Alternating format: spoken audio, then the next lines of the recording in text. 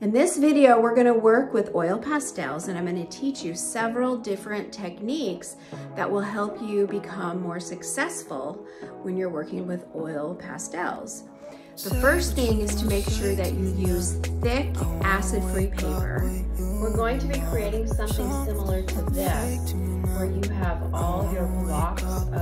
I have already laid my paper out and prepared it with the different techniques that I'm gonna have on this first page. And I'm just using these really cheap student quality oil pastels.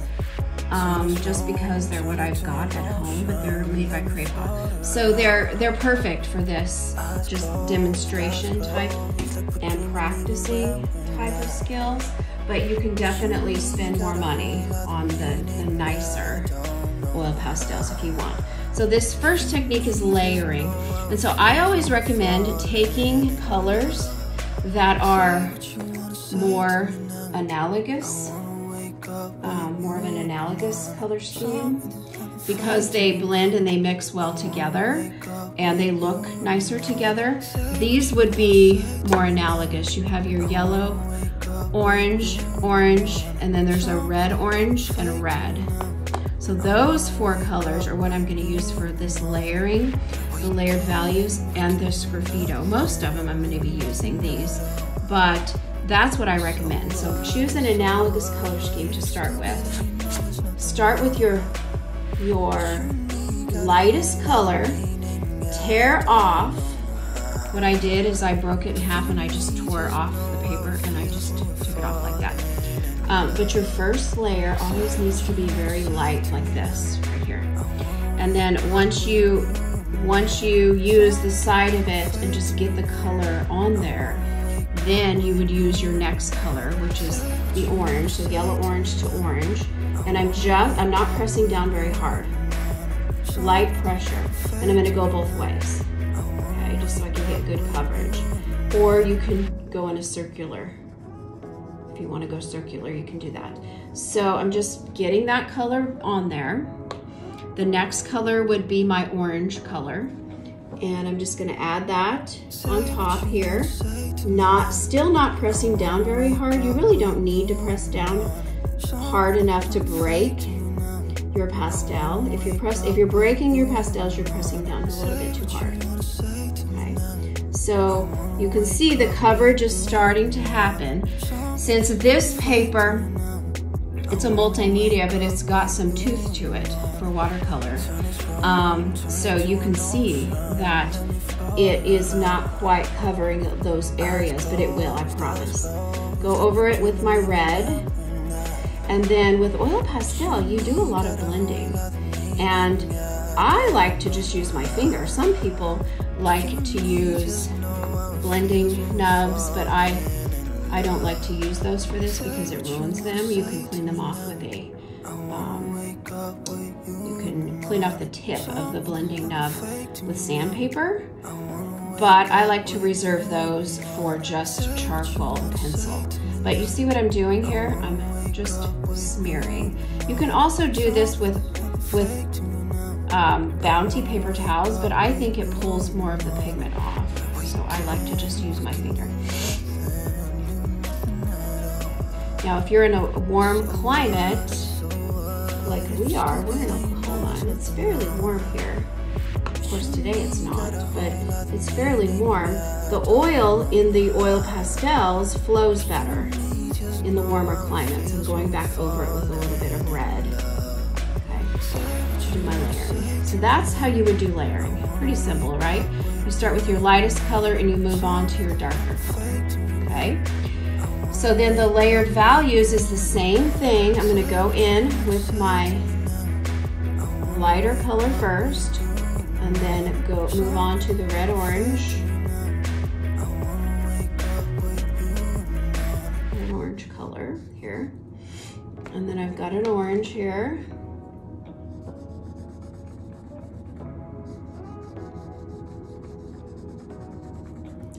On top. And I can start doing the. And it's so it's the same exact thing that you saw me do with the layering, right? same thing. So just start off like this. Go ahead and blend it in. And then what you want to do is neutralize your color with the layered values. You want to start with a neutralization of your color. How do you neutralize a color? You add brown, okay? Um, because, or the opposite color on the color wheel really, but really a brown is a great way to neutralize anything. So I'm gonna come in here instead of a black.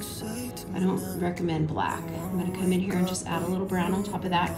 And then I'm gonna take a little bit more of this red I had before. And I'm gonna add a little bit of that red to it. And sometimes you'll get little chunks. I just take the chunks and push them right on in.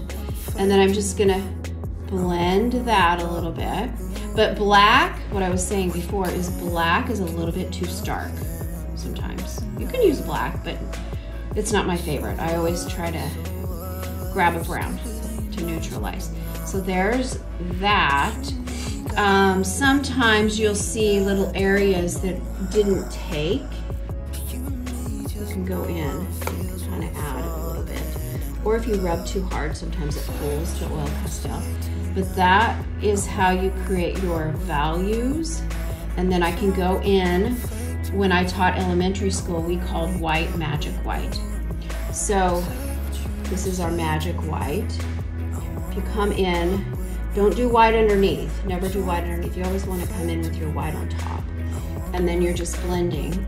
Just make sure you don't have too much brown. I've got a little chunk of brown on my finger. So if that happens, you want to take a paper towel and just wipe that off because whatever's on your fingers is going to get on there, you know. So check and make sure. I'm just going to wipe that off and then I'm just going to come in like this. Now there are some there are some really cool textures in there. You could keep that texture. Um, it would be a great way to do like a sandy beach. But for right now, I'm just doing like a value blend for you. See, just a value layer blend. So that's how you would do that. Sgraffito is the same way. So I prepared this Sgraffito area just like I did with the layered values and the layering. And all I'm doing now is taking the end of this paintbrush and you could use a paper clip, you could use all kinds of different. I would not recommend using your pencil um, because otherwise you'll leave lead on there. But you can just go in and just draw on there. So I could see going in and creating all kinds of fine, intricate areas, designed areas, or making your drawing more realistic looking because with oil pastels, you really have a hard time creating realistic artwork. But if you go in with Sgraffito afterwards, you can add a lot of those intricate details that you would be missing with the large fat end of an oil. For this oil technique, I decided to change it up and use a dark blue dark blue and this light blue together. I'm just gonna layer them on there. And I'm, I just have a little bit of oil in here, regular paintbrush, clean paintbrush. And what I'm gonna do is just take that oil and I'm going to paint it. So what it's doing is it's breaking up that pigment and dissolving it a little bit. And what I'm able to do is paint with it. So I'm pulling, see how it's pulling that lighter blue. I've got a little chunk right there that I'm kind of playing with. but it's gonna take that, I'm gonna add a little bit more oil, um, pigment and kind of break it up and pull it out. And so I could use this to create some lighter blues. Do you see that? So it's just dissolving it a little bit. Um, of course, oil pastels are made with oil, so adding the oil is not gonna ruin it. But I could definitely move it around blend it, mix it, create some lighter values like this if I wanted to, okay? What it will do, it's not archival.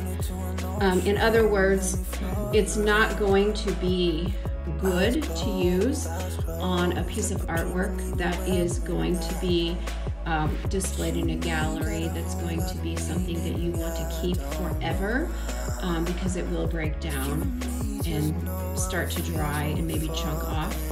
But you could definitely use other oils like linseed oil, mineral spirits, things like that. So you could experiment with some of those if you want to. But for this particular purpose, we can play around with just regular baby oil to see how it works.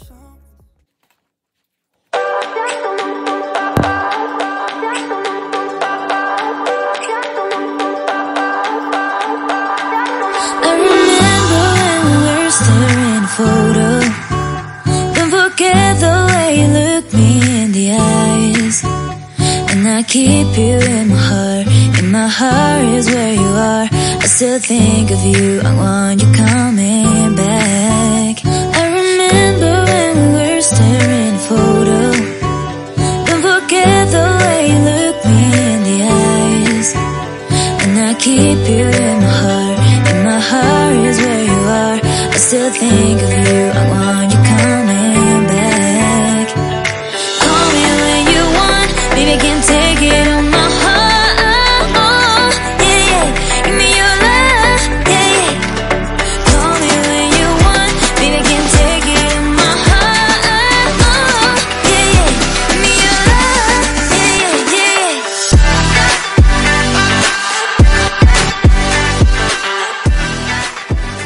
these first techniques were helpful.